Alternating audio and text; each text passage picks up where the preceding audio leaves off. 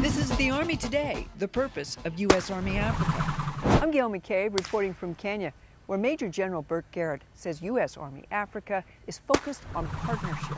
Our number one priority is to meet the demands of our African land force partners. We're very used to working with General Garrett made his comments at the 2009 Land Forces Symposium, where some 23 Army commanders gathered, eight representing nations of East Africa. So as we assume our new mission, LFS gave the U.S. Army Africa commander the opportunity to introduce his goals, objectives, and the abilities of his team.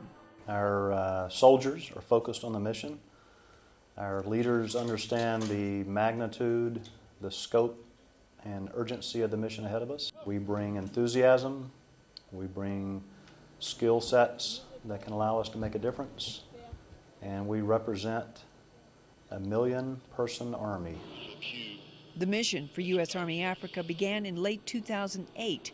To date, they have provided humanitarian aid, instructors, advisors, and on site assistance in training, operations, and bilateral exercises.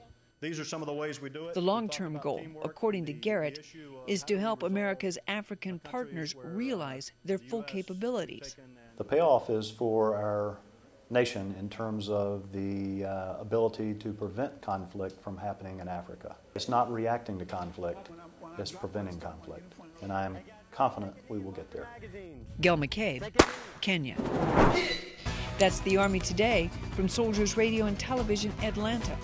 For more information on this and other stories, check out Army.mil and Army Newswatch.